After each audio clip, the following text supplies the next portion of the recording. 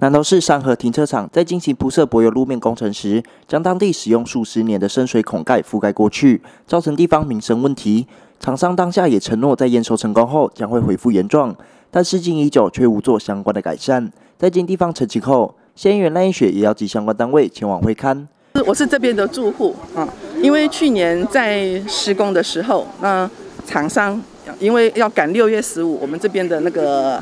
哎庙会。好，所以他们就赶快的、快速的施工，把我一个使用了几十年的深水井的维修孔盖覆盖过去。那我们也透过里长啊，请里长来帮我们，我们有当场啊，都直接跟我们的包商啊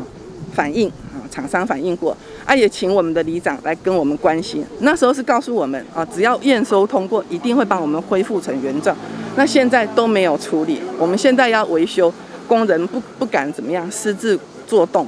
民众黄小姐指出，相当感谢县议员赖雪对于地方的关心，而深水井遭柏油覆盖，造成地方相当大的民生问题，也希望能够紧速改善。所以我们就请呢那个赖议员来帮我们关心，来恢复我们这个维修孔盖，啊，让我们可以使用，然后呢，让我们可以修理啊，然后维修，然后恢复我们这边住户的那个什么用水的那个什么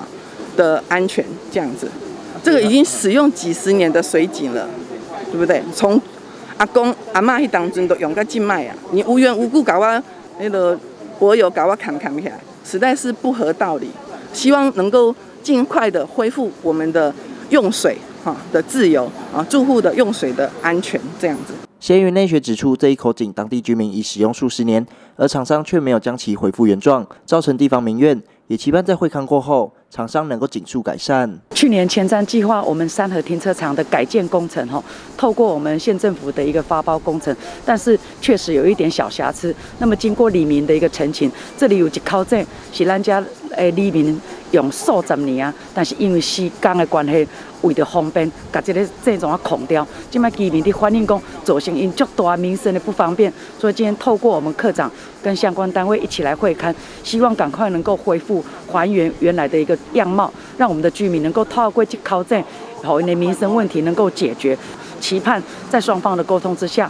能够尽速恢复原状，让我们的民生生计都能够得以保障。在会勘过后，赖议员也希望县府相关单位能够督促厂商，紧速将三河停车场深水井的部分恢复原状，让民众能够方便用水，解决地方民生问题。记者熊俊南投采访报道。